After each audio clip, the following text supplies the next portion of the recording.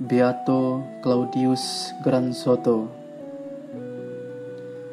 Lahir dalam keluarga petani di, di San Lucia di Piepe, Treviso, Italia, Beato Claudio Gransoto adalah anak bungsu dari sembilan bersaudara yang sejak kecil telah terbiasa bekerja keras di ladang.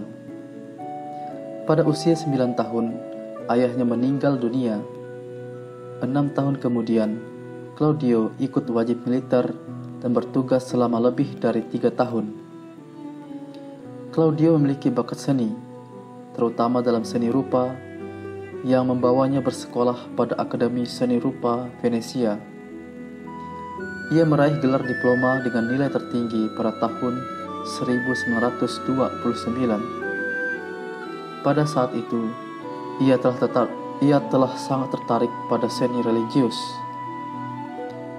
pada tahun 1933, Claudio memutuskan untuk masuk biara Fransiskan.